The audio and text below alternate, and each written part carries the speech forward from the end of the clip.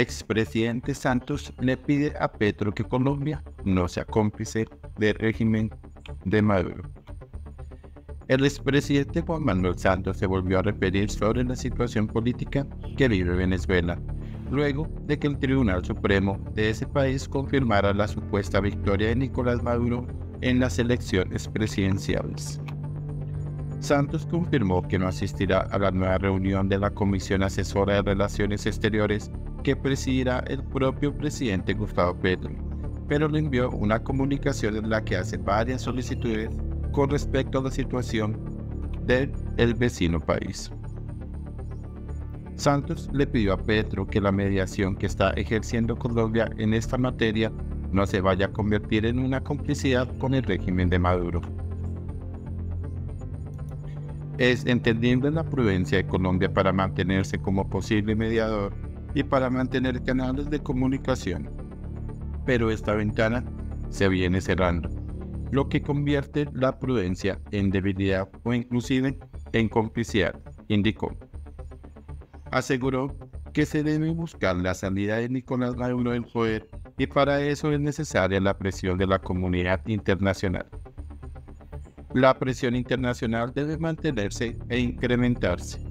Se podría explorar la posibilidad de una transición negociada bajo el paraguas del Consejo de Seguridad de la ONU o de mediadores aceptados por las partes, manifestó. Exigir las actas como lo hicieron finalmente Colombia y Brasil fue un paso en la dirección correcta. Es importante tener claro el paso siguiente y endurecer la posición. Repetir las elecciones o compartir el gobierno no se muestran como soluciones viables. La salida de Maduro, así sea utilizando un puente de oro, es el único camino y en esa dirección se debe trabajar, añadió.